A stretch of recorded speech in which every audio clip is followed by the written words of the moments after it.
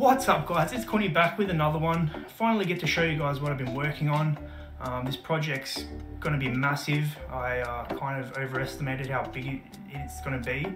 Let me know what you think below obviously. Leave a like if you liked it. Uh, sub if you're new to the channel because uh, it helps out a lot. Yeah, let me know if you uh, what other projects you'd like to see me do. I've uh, heavily been asked for some Sonic, so that's on the cards.